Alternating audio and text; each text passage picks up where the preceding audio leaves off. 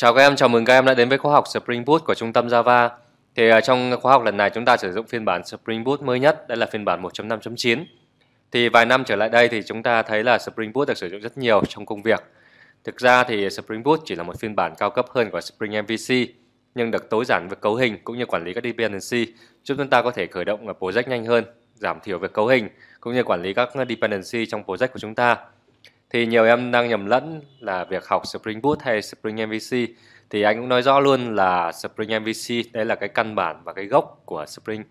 Và Spring Boot chỉ giúp chúng ta tăng tốc việc cấu hình, tối giản việc quản lý các dependency cũng như tối giản việc cấu hình thôi. Giúp chúng ta tăng tốc. Thì uh, Spring Boot này chúng ta học online tại địa chỉ là learn trung tâm com khóa học Spring Boot. Thì khóa học này nhằm bổ sung cho khóa học Spring MVC do vậy giá cũng không đắt lắm. Thì các em có thể tham khảo trên trang trung tâm Java thì uh, trong khóa học Spring Boot này thì uh, anh cũng nói thẳng luôn là chúng ta bổ sung khóa học Spring MVC.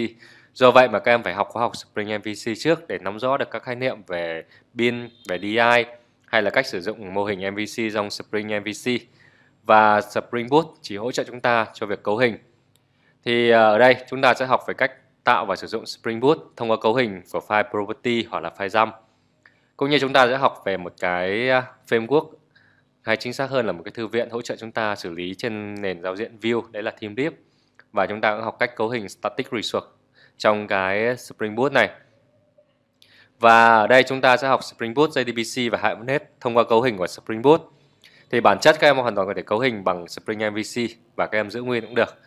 Thì trong boot này thì chúng ta có thể cấu hình nhanh hơn thông qua file à, property. Thì anh sẽ cùng em đi vào chi tiết. Cũng như chúng ta sẽ học về cách upload file và một số cái cơ bản về Spring Boot Security. Thì anh cũng nói thẳng luôn là tất cả những cái phần này chúng ta đã học trong uh, Spring MVC rồi. Và trong Spring Boot thì chúng ta chỉ là nhắc lại một lần nữa cũng như cách cấu hình thông qua file property nhanh chóng hơn thôi. Còn các em hoàn toàn có thể sử dụng cái cấu hình của Spring MVC trong Spring Boot cũng được bởi vì bản chất nó là như nhau. Thì uh, để cụ thể hơn anh sẽ cùng các em đi vào trong khóa học.